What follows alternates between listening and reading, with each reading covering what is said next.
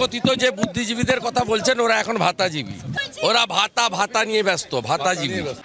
ইতিহাসে বলা হয় রোম যখন আগুনে পুড়ে যাচ্ছিল তখন বসে বসে বাঁশি বাজাচ্ছিলেন সম্রাট নিরো। বুধবার সেই নিরোকেই যেন মনে করালেন কবি সুমন। রেকর্ড করছি সুমন দা মৌপিয়া কথা বলছিলাম জি চব্বিশ ঘণ্টা থেকে। আচ্ছা আমাকে বলে ফোন করে কোনো লাভ নেই আমি কিন্তু আপনি রামপুরহাটের ঘটনাটা শুনেছেন? আপনি যদি অনুগ্রহ করে আমার কথা শোনেন তাহলে ভালো হয়। আমি কোনো ব্যাপারেই কোনো কথা বলব না কাফি রাতটা ছাড়া। প্রথমেই হিরোর কথাটা আমার মনে। সেটা আশাই স্বাভাবিক। এদের ব্যাপারে কিছু বলাটাও কীরকম লাগে? আর মানে বিলিভ মাই ডিগনিটি টু টপিকে কোনোদিনই আমার প্রতিবাদী কোনোদিনই আমার কিছু মনে হয়নি। আমার কোনো মোহ ছিল না সেই জন্য মোহ ভঙ্গ হয়নি। সত্যি কেন দেখা যাচ্ছে না বুদ্ধিজীবীদের? কেন মাঠে ময়দানে নেমে বিচার চাইছেন না তারা? এখন যারা বুদ্ধিজীবী আছেন তারা এই ডামাডোলের মধ্যে মুখ খুলতে চান না। তার কারণ হচ্ছে যে দেখতে পারা যাচ্ছে যে কোনো একটা কথা বললেই তার এত প্রতিক্রিয়া হয় এত উল্টো কথা ভেসে আসে এমনভাবে তাকে অপমানিত করা হয় গালাগাল করা হয়। অনেকে মনে করেন যে না দরকার কি বাবা? এই ডামাডোলের মধ্যে নেমে আমার তো কোনো প্রয়োজন নেই, আমি আমার কাজ করে যাই। অবশ্যই এই পরিবর্তন আমি চাইনি। আমরা আর একত্রিত থাকতে পারব না। তার দুটো কারণ। একটার বীজ বপন হয়েছিল নন্দীগ্রাম সিঙ্গুরের পরে যখন পালাবদল ঘটছিল, যেটা আমি বারংবার বলেছি যে আমাদের সামনে একটা সুযোগ ছিল তখন, নিজেদের একটা নিউট্রাল স্পেস রাখার। তো সেই সময় আমার যারা বন্ধু বান্ধব আমার থেকে বয়োজ্যেষ্ঠ যারা, খুব গুণী মানুষ, আমার থেকে অনেক অনেক বেশি ট্যালেন্টেড তারা। তারা সামহাও এই সত্যটা বুঝতে চাননি।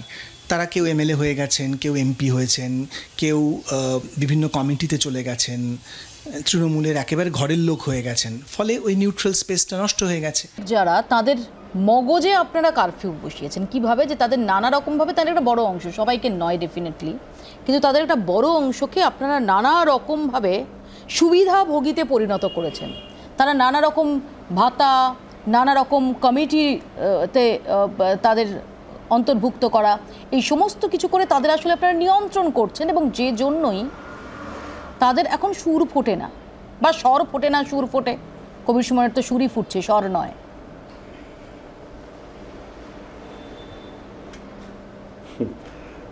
সিপিএমের আমলে শিল্পীদের কোনো সম্মান ছিল না। উত্তম কুমারের মরদেহ রবীন্দ্র সদনে রাখা আর কাকে সম্মান দেখাবে? যিনি মানুষের মৃত্যুর পর সৌমিত্র সারেগামা পাঠালিতে শেষ যাত্রায় মমতা বন্দ্যোপাধ্যায় পা মিলিয়েছিলেন। বলছেন এই কথাগুলো? সন্ধ্যা মুখোপাধ্যায়ের শেষ যাত্রায় মমতা ব্যানার্জি পা মিলিয়েছিলেন।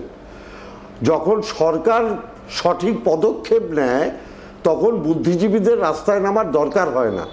কারণ তারা বোঝে যে সরকার সঠিক পদক্ষেপ নিচ্ছে।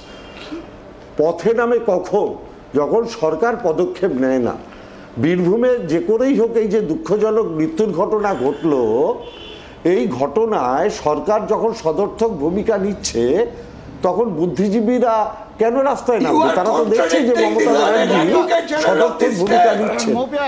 আর আমি একটা কথা বলতে চাই আমি একটা কথা বলতে চাই বুদ্ধিজীবীদের সিপিএমের সিপিএমের আমলে শুধু নিরীহ মানুষ মরেনি শিল্পীদের শিল্প সত্তাকে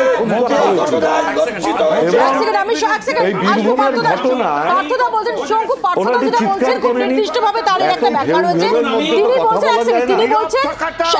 সরকারকে সমর্থন প্রতিবাদ করা দরকার প্রতিবাদ করতে হবে সরকারের অপকর্মের বিরুদ্ধে বলতে হবে। কত দূর বলবে রাস্তায় না।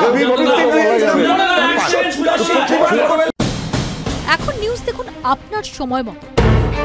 আপনার হাতের মুঠোয় রাজ্য দেশ দুনিয়া। ডাউনলোড করুন জি চব্বিশ ঘণ্টা অ্যাপ এক ক্লিকেই পান সব আপডেট